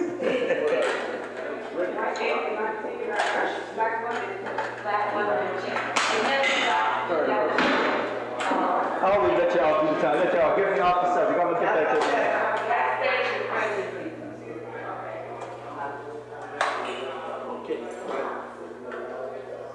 He did not know that this thing that made him go had anything at all to do with. And now, if you don't you think about that, look at that picture, Quest for Fire. You remember? Yeah. All they knew how to do was go uh, and jump in it and jump out. That's all he knew how to do. That's all he wanted to do. He had no idea that this had anything at all to do with this swelling in her stomach. He did not know this. He did not know it until the African taught him this. It was the Nubian Grimaldi's who taught the Cro-Magnon about, oh, well, Crow about 15,000 years ago. Cro-Magnon comes on the scene between 20 and 25,000 years ago. The Nubian Grimaldi had been up in Europe for 50,000, maybe up to 70,000, all over the world. This black man, but that's another subject. They had observed and studied the body of the black woman. And I cover that in this book. So much so that the most sacred thing in life to them was her ability to carry this child and to bring this child forth into the world. So that the first image of humans carved in stone, carved in terracotta, painted on the rocks of the caves, were what? All the woman, and usually the what? Pregnant woman, always the big butt woman. All over the world. It was a symbol. I'm serious. She was God. She was God. Why? Because how did you first, any knowledge of God whatsoever you got in your consciousness began when your consciousness started to develop. Where did your consciousness start to develop? Where? In the womb. Right. Every thought your mother had was transferred to you. Everything you needed for survival, we just talked about that, didn't we? Came from what? Your mother. You wanted pickles and ice cream, did you get it? Everything you wanted, you got. Your mother supplied that. Therefore, the best way that we can acknowledge, and the quickest and most basic way that human beings acknowledge the provision of the creative force in the universe and their connection with the creative force is through what that power of what does for them. Now you'll see people stand up in church and say, what? I want to testify about what he done for me. I mean, they wouldn't want nothing to do with God if they didn't believe he did something for them. Right. If they didn't believe Jesus could do something for them, Jesus wouldn't last five minutes. They just convinced them that he'd done something for them. That's all. But if they were not convinced of that, they wouldn't deal with it no more. And that's what they talk about, what he's done for me. So our concept of God is based on what the Creator does for us. And what was our first knowledge of what can be done for us? Woman. Woman. Not only the womb, when you first got in the world, what your daddy that fed you? It was your mama's breast that fed you. So therefore, who would be your first idea of God? Mama. That's why the African prays today, Mother, Father, God. Because the first idea of God was you came to know God or the Creator through your mother. So the first way you came to know the Creator is the way that you what? Acknowledge the Creator. Not that we're bringing the divine force down and putting it on the level of the human. No. The human has to be able to conceive of that. So the way you first conceive of it, and then the second way you conceive of it is your father. Because when your mother's milk was no sufficient, it was what your daddy slew out in the field on the hunt and brought back as a provision. The fact that your daddy surrounded and all the other daddies surrounded that village and protected it against all threats and all enemies that you began to see Father God. Mm-hmm. So that's why it's called Mother, Father, God. All religion was predicated upon that. Now the European was angry because he did not have the power to do this great miracle, this great mystery of life, and that is to bring forth life. Mm-hmm. He said, I can't do it. Mm-hmm. How is it, can she do it and I can't do it? So what he saw with this child when it came in the world was blood, the mm-hmm. afterbirth. So he says, obviously there's a connection between this and bleeding. So that's when they came up with the religion of castration. Where a man figured if he castrated himself, he might be able to somehow inherit the power to give birth to a child. It sounds stupid to us, but that's and it is stupid, but that's what they did. Mm-hmm. They were not advanced enough to, to, to take. Yes, no, They end up hating women. Yeah. Mithraism is based, its priest must be castrated to be priest. Mithraism, one of the ancient religions that came out of Europe. It must be castrated to be a priest. Today, you have them castrating young boys to sing in the choir, to give uh, to God. In India, once it was taken over by the Aryans and the Eurasians, castrating of young men to give, uh, huh? It was Castile. Catholic Church. Yeah, Castile, where you serve God better if you were castrated. You could get closer to God. And so they went a step from that. I'm going to get your point in a minute. A step from that a minute. That's what I was coming to. The logical. Then they came up with, in order to know God and to be a good priest, you can't have anything to do with a woman. Wherein the ancient Kemetic priest said, before you can know God, you must copulate with woman. That was the only way to know God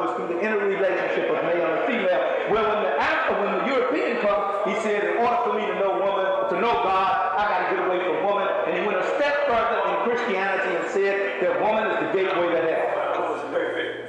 This is what he said. This sister had a question. I got to get to her, and then I'll come to you. All point. Well, question, you talk about the interrelationship uh, between women and the God concept, well, the in the scriptures itself talks about God upon the face of the deep. When you understand the metaphysics in the Bible, this is Europeans never did understand. What most Christians don't understand. They didn't teach it to them. In our we learned that. But that that is the whole male female dynamic. I cover that in, in, in in African Genesis. That's why all stories about the creation, no matter what part of the world they come from, talks about this watery state in darkness and the spirit moving upon the face of the deep in the darkness is actually talking about the womb of woman. And that the first thing in, in creation it says god said let there be light. What's the first thing that happens when you part the golden or the sacred gates of the vagina? When you're coming out you come into the new world of light is what happens. So that, that's what that's all about.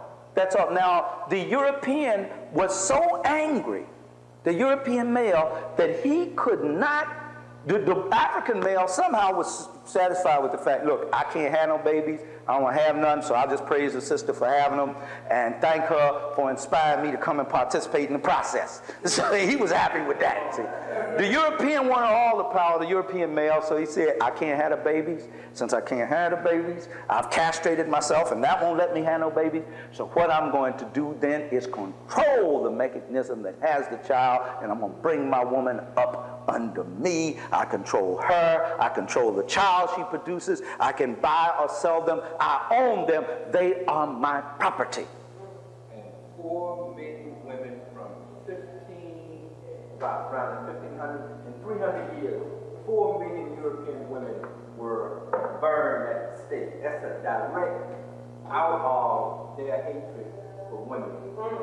They, men hate the, the, in the Christian uh, uh, New Testament, the ones that were the, the translated, John Chrysostom, John Marcion, uh, Saint Basilides, all of them, Saint Jerome, they all were misogynists. They hated women, and that's why you will find in the New Testament, let the women keep silent in the church.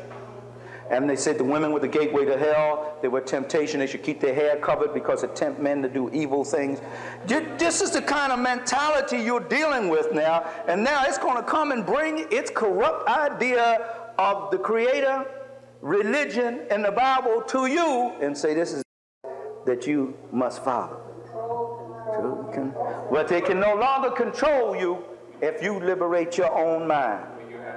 When you have knowledge, that you.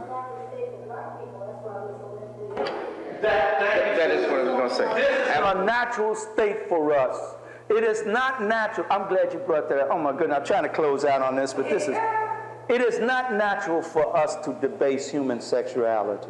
Human sexuality is a sacred and divine thing which is supposed to energize the people when they come together and take them to higher levels of spiritual evolvement and enlightenment. That is what's supposed the natural the, the, between male and female. Black male and female. Let me put it make that even clear. That's what I'm talking about. I'm not talking about what other people do. I'm talking about between us. One of the best, one of the ways that you really scatter a people's spiritual energy and keep them disconnected from their uh, plug. Now, remember we studied earlier about the fact that Dr. Williams told us in the Destruction of Black Civilization that our religion, that is our way of expressing our spirituality, was the dynamic force behind us being able to create these great, marvelous civilizations in the past. So that was it. Now, when you can disconnect the people from their spiritual connection, they cannot achieve greatness.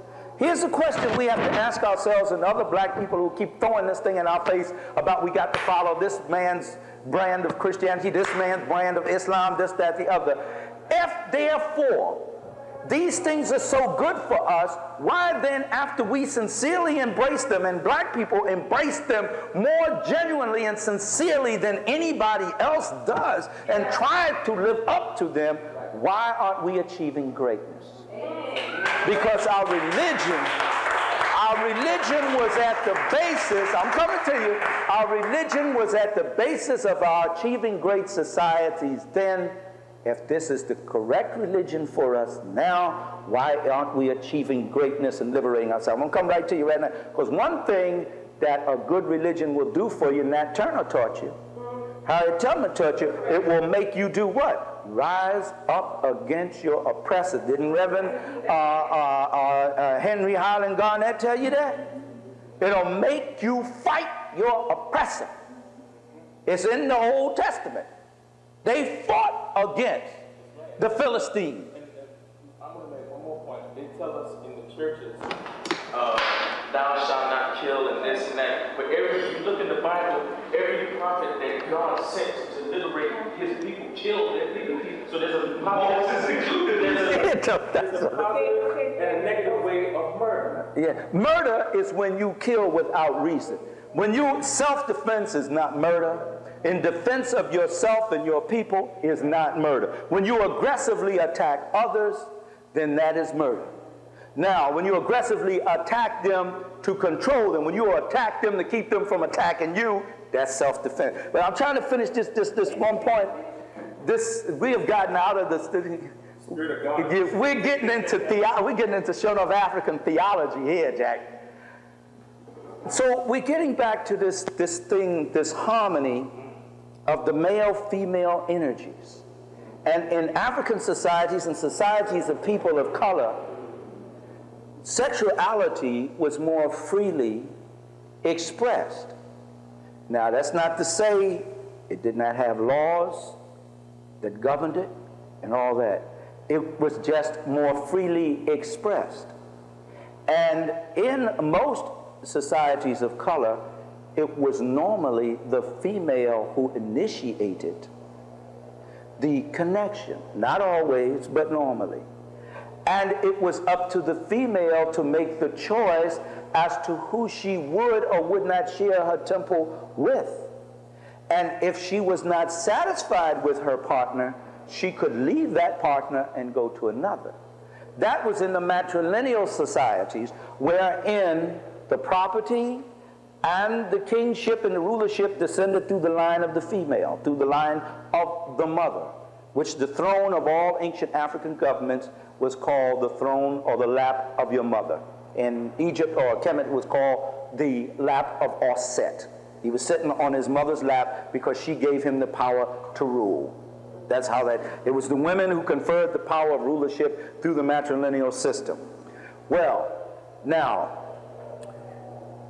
when the patrilineal system came in under Europeans and Asians, women could no longer make the choice, it was the men who made the choice. It was also the women who devised the method, sisters, of what is called the extended family or sister wife. Why did the women develop that? Because of warfare and because of other factors, in many of our societies, there was a depopulation of the male. The belief was no female in a society should be without the connection of a man. Not that she couldn't survive without it or her life was dependent.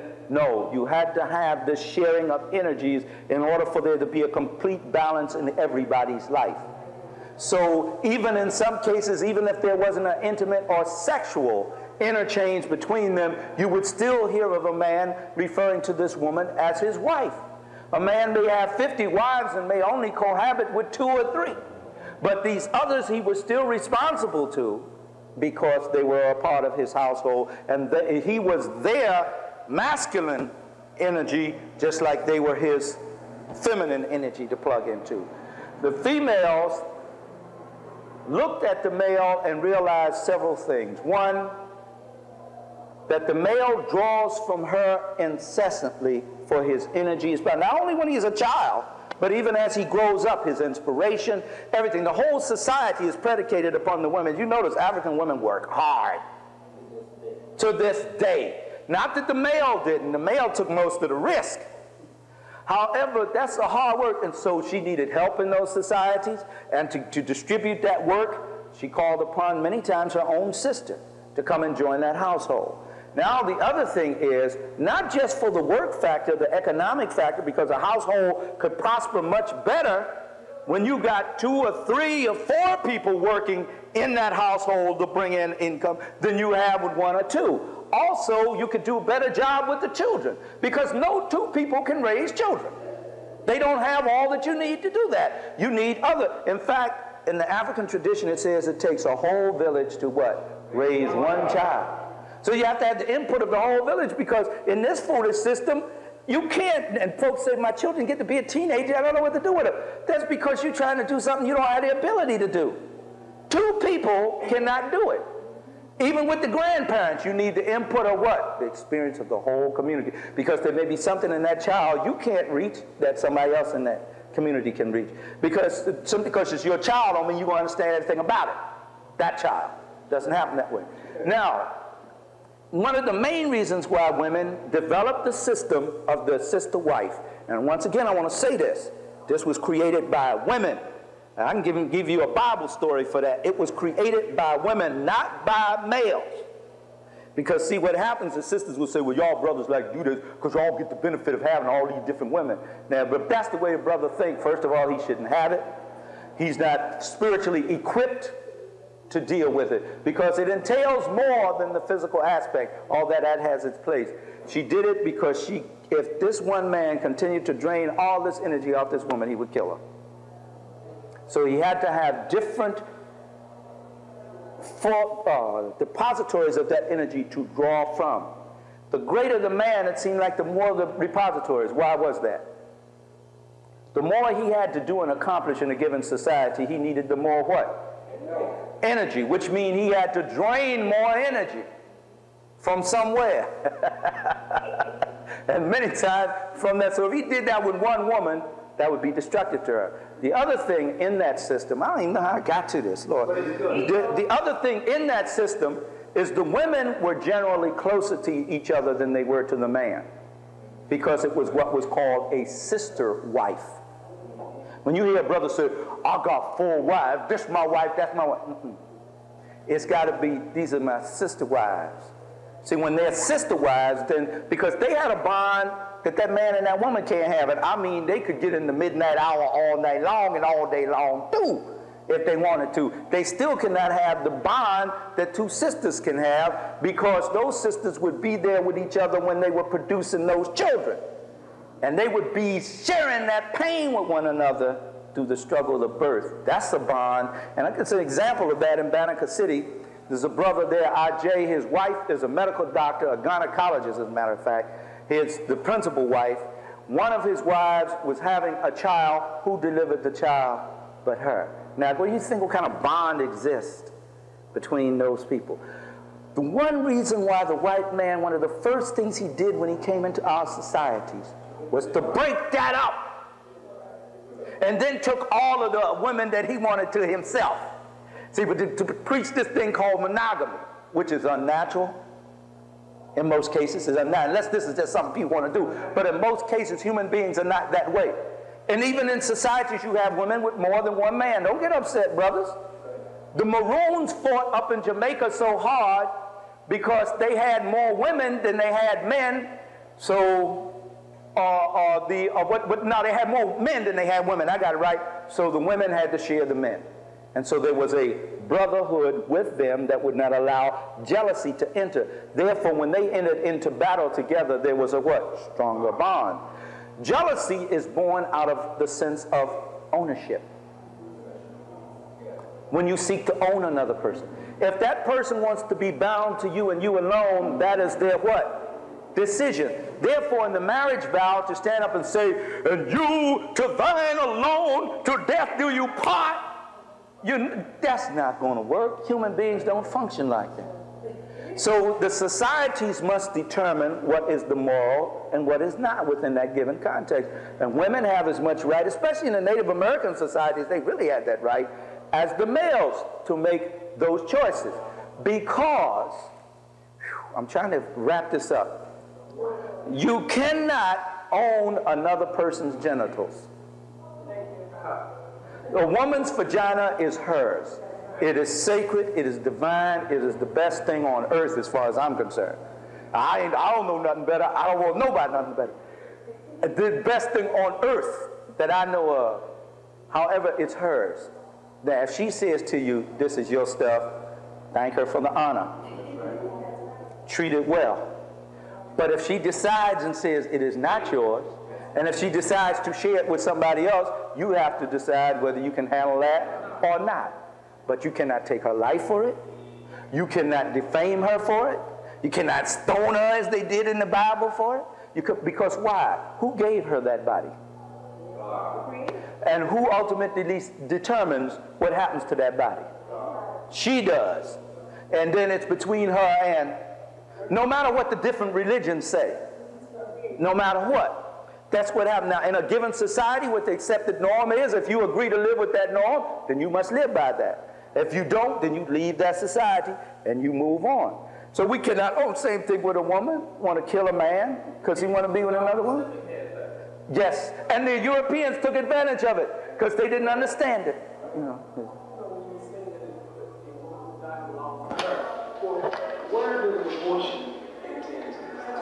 Well, that's, that, uh, this, is the right way thing. I know, I just want to hear you. Well, no, not necessarily. It is. Um, see, here's the thing. Can you hold that a minute? Because that's another subject. That's another. Um, let me cap this one up.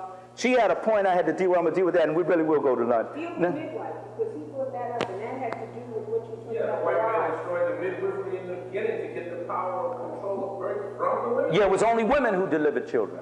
It was a pro- men were not allowed in. It was a thing. It was a sacred uh, uh, mystery thing of the women. Just like men had things they did that women couldn't enter into. That had nothing to do with male chauvinism or female chauvinism. It's just that there were certain things that they did as males over there, and that was sacred to males, and certain things that females did it was sacred to females. It was as simple as that. That's all. And then they had their times when they came together in society. No, they had no problem with it. It's when you try to say that either the female is, is greater than the male and dominate the male, or the male is greater than the female. We were equal partners. Our history demonstrates that Diop says that the European was totally, his mind was blown when he came to Africa and saw statuary gargantuan statuary of the female sitting in equal power almost beside the male and to be saw all that affection going on between the male and female. And the thing that really took him out was to find out that the male showed so much affection to the female child wherein in the european society they did not. She was uh, she was uh, not an asset. She was um, uh, no, not a, she wasn't just a commodity because they did sell her. She was uh, um, on your profit and loss statement. What do you call that? Liability. And after they reached a certain quota, they had to take them and put them out in the woods for wild animals or something to get. Even in the days of Rome, they left them on the on the steps of the temple of, of, of Juno because you couldn't have but so many females within a given European society. You also mentioned when you were talking about where um, the Bible came from, you mentioned uh, on something called Coming Forth by Day by Night. Yeah. Oh, yeah, the book The Coming Forth by Day and by Night is the book from which we get most all of the sacred writings because it was the first to be written that was sought to uh, systematize some type of ritual or system of belief. The uh, Egyptologists, quote unquote European persuasion, call it the Egyptian Book of the Dead. That's, that's the coming forth by day by night, night coming book, right? What they call the Egyptian Book of the Dead. And even though it has to say a lot about the dead, we must understand this. To the African, even then, there was no concept of death. There are several rites of passage you pass through, and this was called the last rite of passage. It was not called death.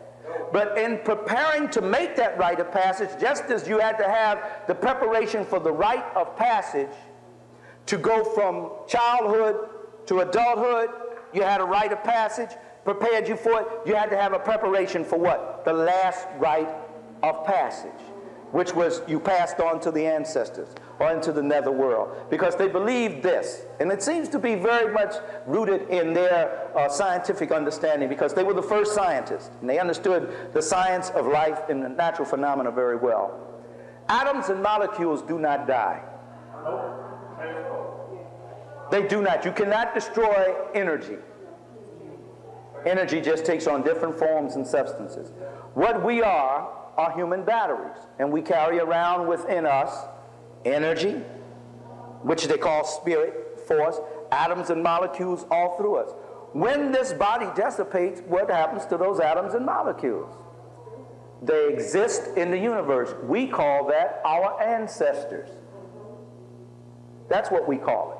Also, they exist in our children and grandchildren because you can look in the face of, of, of, of some of your children and see your great grandmother. Act just like her, talk like her, everything. Right. That is a part of your great grandmother or your great grandfather.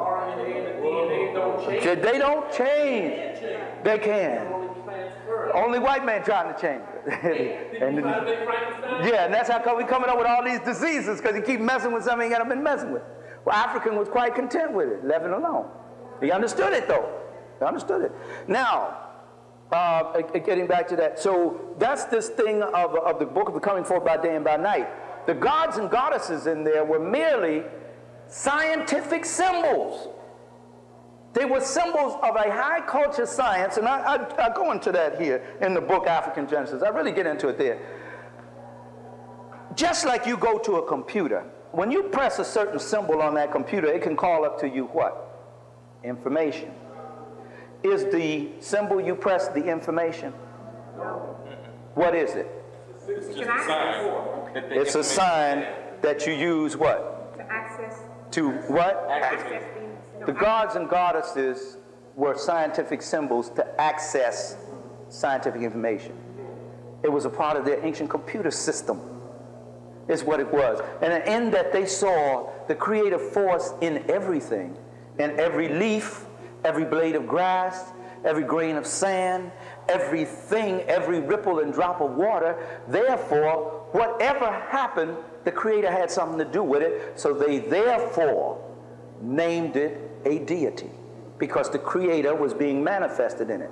To the African, as I read from Dr. Williams, there was only one universal, divine, creative force in the universe, one divine intelligence. Everything else, gods and goddesses, was a manifestation of the multiple aspects of the one. So sacred was this to the African that he'd never built a temple to the one. Never built a house to house the one. Only Europeans and Asians believe that they can build a house and put God in it. They're the only people who think they can do that. The African knows you cannot take the sum total of the universe and put it in a house, nor can you put it between the covers of a book. So that's why he had this reverence for all people's belief. They thought, oh, he's so easy and childlike. We can convert him to Islam. We convert him to Christianity. He saw no difference in it than what he already believed. It was just another way to say it. You know. Okay, did I get all your points? Because he had a question, and I'm really going to try to close this, this section down.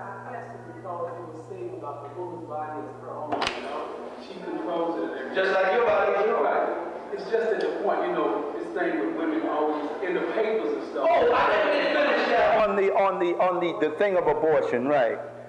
In uh, okay, it is her right to decide, first of all. However, if you were in a society that was of the creation of this woman and her people, a society that provided all the needs for everyone in that society, the woman would not feel the need for abortion. Only in the case if it threatened her life. We live in a society now, and I'm not saying pro or con, I just want you to listen to me. Well, on the one hand, they tell her she doesn't have the right to make the decision. On the other hand, they tell her they're not going to supply the means to help her take care of it. The very ones that tell her she doesn't have the right to make the decision also tell her we're not going to give you the means to do it. You know why? Because we want you to keep having them so we can have more to exploit. Now, for us, here's my thing. I would rather see us have them because we have more warriors for the future, we have more people to build our nation.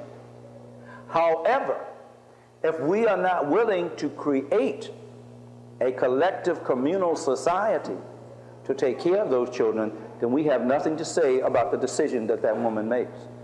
If we have a collective society that takes care of those children, what do I mean by a collective society? A woman should not be made to take care of a child by herself. Not even a man and a woman should be made to take care of a child by themselves. So if she has to do that, if you have a collective society in your structure, just like in the Polynesian island, you, you will find many brothers and sisters from the bush, not from the cities. They come from the continent, from the bush. When they make money here, what do they usually do with it when they get their paycheck? Why? And when, when they say take care of the family, they're not just talking about their brothers and sisters and all that. They're talking about the whole village. Because what? The whole village took care of them. So we're living in a society now where economics makes it so difficult to meet the needs of children when you got one or two people to do it. However, if we add collective institutions primarily dedicated to the care of children, then the women can have the children, the children are well taken care of, and they do not have to worry that they will be left on their own. I will not pass a moral judgment on it. I do not like the idea, of the concept of abortion. However, until I, as a black man, in concert with other black men, build a society for her that she can feel safe in having her children, I cannot say nothing about it because I haven't done my part. What's that, my sister? I just want to say, it, um, it would seem to me that the creator makes the decision and rest the heaven of the woman womb to have a child, and if you, um, destroy a child, you're destroying part of yourself and your own spirituality, it would seem to me. But what that does come back to, sister, is it's a decision between the woman and her creator. It's not something that I can pass a moral judgment on or that any of us can pass a judgment on. When we sit down and talk with that sister, when we sit down and talk with that sister about that baby, I don't sit down and talk with her about, because I've had people come to me with this problem. I don't sit down and talk with her about you should do it because it's morally right for you to do it. You should not kill the child, even though I believe that. I will state this is my belief. I don't think you should kill the child. I don't think you should destroy the child. However, I'm not going to condemn you for your decision because the main thing I need to be talking with her about is how am I going to help you take care of this child. That's the point. And if I can't talk to her about that, I ain't got nothing to say. That's all I'm saying. I'm not talking about the relationship between her and God and the spiritual and moral side of it. That is personal. That is a personal thing. And I won't get in it. That's what I'm talking about. I'm not evading it, but I'm not going to take a public stand one way or the other. I don't, personally, I take a stand. I don't like to see the killing of black children. I take that personal stand. However, the other side of that coin is we must develop a society where the sister can feel comfortable and safe in having it. Absolutely, because it seems to me to be another one of the Western Africans think that they can control um, your, just controlling that whole process. It's her decision in the final analysis. Okay. And I think that if you if you're related to the sister and you are working together as brother and sister and you're willing to help her provide, then it's not just her decision. Although finally it's hers, it's a decision that you must be involved in too, because you are all working together and you did procreate together. So that think in all fairness, still she's the one that's going to have to carry it and, and, and, and all that. So that finally, you, you have to respect it. You can't say this. Well, I'm the man and this is my baby. It's not yours. You have a part of it. It is not yours alone. You may get mad with her. You might cut her loose for it. You may do all of that. But actually, the final decision rests with her as to what she's going to do with her body. So you make sure when you hook up with a sister, if, you, that, if you're strong about that, that she's of a state of mind that she won't do that. That, that, that's what you do. But um, that's as far as I'm going with it. But I still put the emphasis on that, and ultimately, the responsibility is on us as a people to provide mechanisms for communal care of our children. Hold your point just one minute, brother.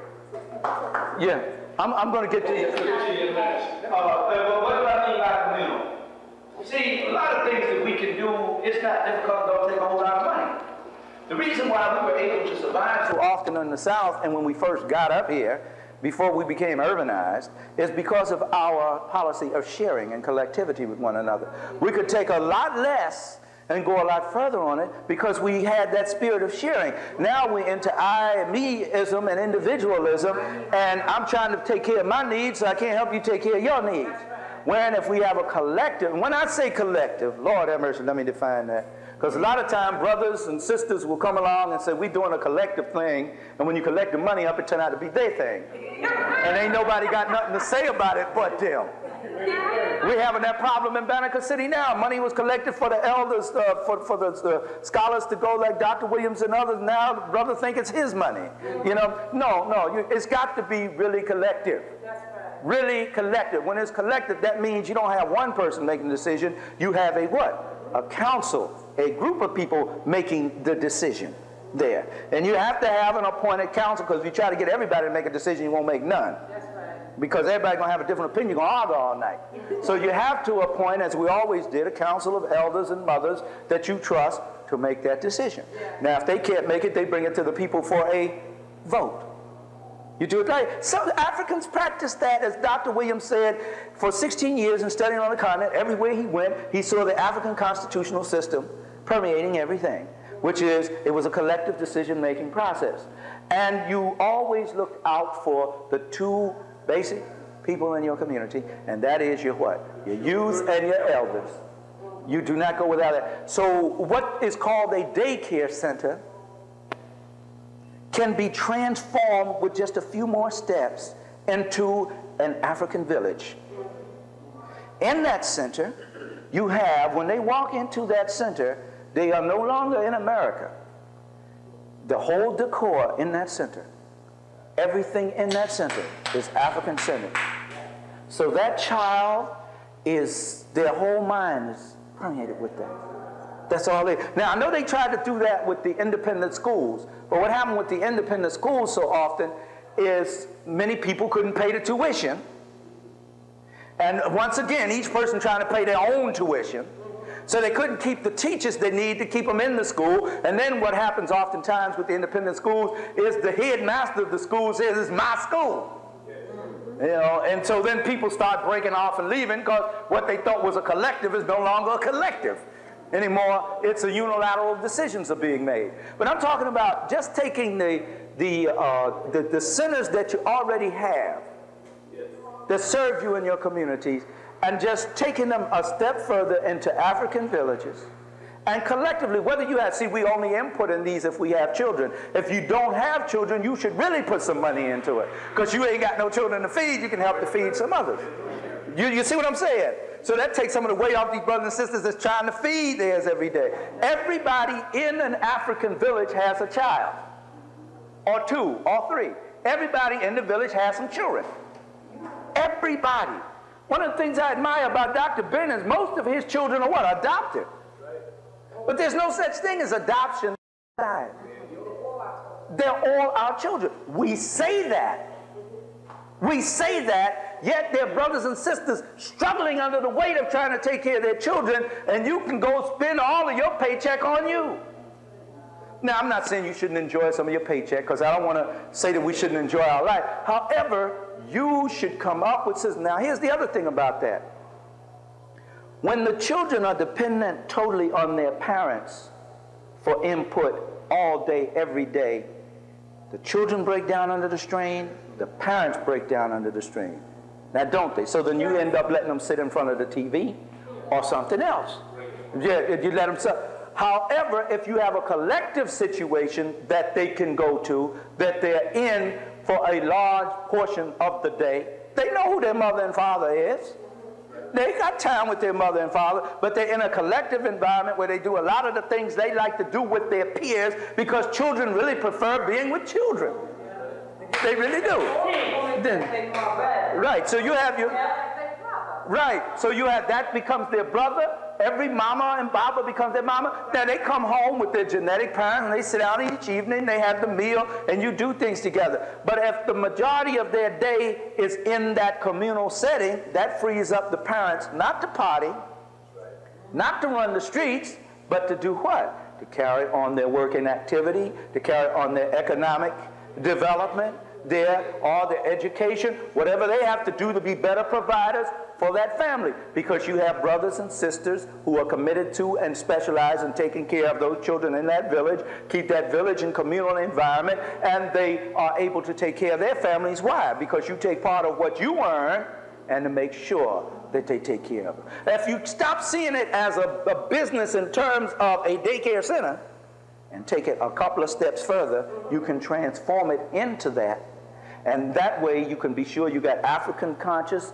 people in there so you know who you leaving your children with during the day and all those kind of things. And it's not governed by, and it's not owned by the people in there. Taking care of those children is governed and owned by the what? Community that it serves. That's African, man.